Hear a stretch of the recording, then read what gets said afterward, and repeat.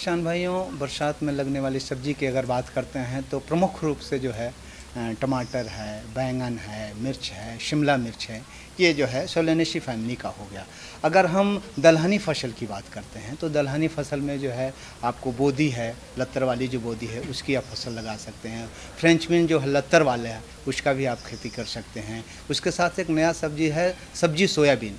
जिसमें प्रोटीन सबसे ज़्यादा मात्रा में होता है, उसको भी किसान भाई जो है लगा सकते हैं। झारखंड के लिए बहुत ही नया फ़सल है और अच्छी आमदनी किसान भाइयों को मिल सकता है। तो जो है सब्ज़ी, सोयाबीन की खेती भी किसान भाई कर सकते हैं। इसके अलावा अगर अब लत्तर वाली सब्ज़ी की बात करते हैं, बेल वाली सब्ज़ी की जिसको कद्दू वर्गीय जिसको कहते हैं, उसकी अगर हम बात करते हैं तो उसमें लौकी है, करेला है, झिंगी है, नेनुआ है तो इन सारी सब्जियों की खेती किसान भाई जो है बरसात के मौसम में कर सकते हैं। किसान भाई, जब भी ये बरसात के मौसम में फ़सल लगा रहे हैं तो खेत की तैयारी की अगर हम बात करते हैं तो खेत का चुनाव एक अहम मुद्दा होता है। वैसे खेत का चुनाव करना चाहिए जहाँ जल जमाव ना हो, यहाँ से जल निकास की अच्छी व्यवस्था हो। और जब भी आप फ़सल को लगाते हैं बिचड़ा पौध को लगाते हैं या बीज को लगाते हैं तो मेड़ बना के जो है 10 से 15 सेंटीमीटर ऊँचा मेड़ बनाएँ और उस पर जो है बीज की बुआई करें या पौध की रुपाई करें।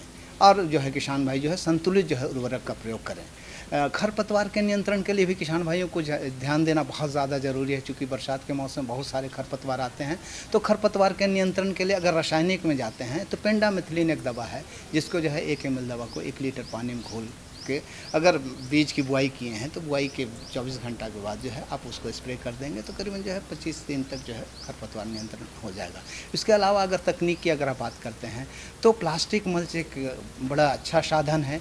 अगर प्लास्टिक से मल्च कर देते हैं, आप मेड़ बना रहे हैं, उसको जो है प्लास्टिक से मल्च कर दें। प्लास्टिक मल्च जो है बाई कलर होता है, दो कलर का होता है। एक भाग काला होता है, एक भाग सिल्वर कलर का होता है। तो किसान भाई ध्यान रखेंगे, जब उसको लगाएँगे खेत में तो काला वाला भाग अंदर रखेंगे और जो सिल्वर कलर का है उसको ऊपर रखेंगे।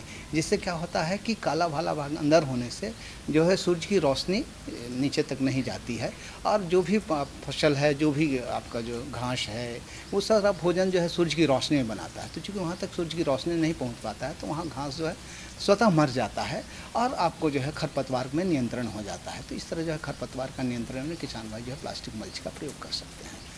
अगर हम बिचड़ा की बात करें, चूँकि जो है टमाटर, बैंगन, मिर्च, शिमला मिर्च में जो हम लोग बिचड़ा बीज बुआई करते हैं। तो बीज बुआई के समय किसान भाई ध्यान दें कि बीज को उपचारित करें, उसके उपरांत ही जो है बीज की बुआई करें। और बीज के उपचार करने के लिए अगर रासायनिक में कहते हैं तो कार्बेंडा जिम एक दवा है जो वेबस्टिन के नाम से बाज़ार में आता है। दो ग्राम दवा को एक किलो बीज में जो है अच्छी तरह से मिला लें और उसके बाद जो है बीज की बुआई करें। किसान भाई, अगर आप परंपरागत तरीका से बीज की बुआई करते हैं, बिचड़ तैयार कर रहे हैं तो आप जो है उठा हुआ जो है क्यारी बनाएँ और उसको समतल करें और ढलान की तरफ़ बनाएँ। ऐसा बनाएँ कि वहाँ पर पानी नहीं लगे और उसमें जो है लाइन बना के जो है और उसमें बीज की बुआई करें। और बीज की बुआई करते समय जो किसान भाई ध्यान दे कि बीज से बीज सटे नहीं, इसका ध्यान रखें ताकि बिचड़ा अच्छा हो।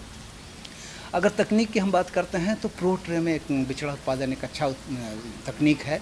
इसमें जो है मिट्टी जनित होता है, इसमें मिट्टी नहीं होता है, इसमें जो है केचुआ खाद होता है और कोकोपीट होता है, दोनों बराबर मात्रा में मिला के और उसको जो उस ट्रे में भर देते हैं और उसके बाद जो है एक एक बीज की बुआई करते हैं। इससे क्या होता है कि एक तो है जड़ अच्छा बनता है और जो है उसका स्वस्थ बिचड़ा तैयार होता है मिट्टी जनित बीमारी नहीं आता है। तो किसान भाई इसका भी अगर प्रयोग ध्यान देते हैं तो बरसात के मौसम में जो है अच्छा फ़सल ले